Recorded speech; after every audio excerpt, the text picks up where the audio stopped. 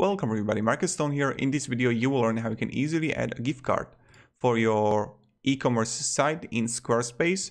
So let's start. So let's click e-commerce, then go to inventory, okay, and just click here on add product. In add product, just click shop, and you will find it here, gift card. Click on it. And now, so you can have a, okay, so item uh, upload here, uh, I don't know, gift card. Template. I don't know, just find some good gift card to upload it there. Then values, you can edit those, description, you can add tags. Then there are going to have values here.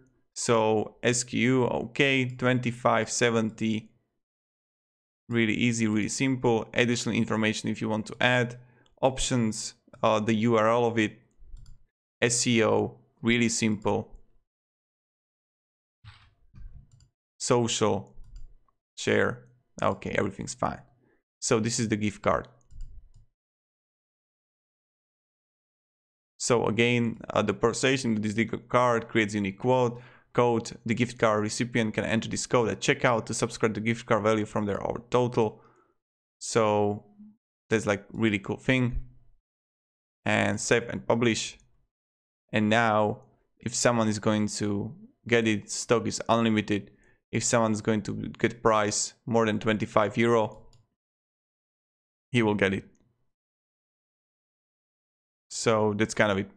If you have any questions, ask me down below in the comments and I'll try to give you some advice about gift cards. Uh, and it's kind of it. I don't know what else, what else should I tell you about it.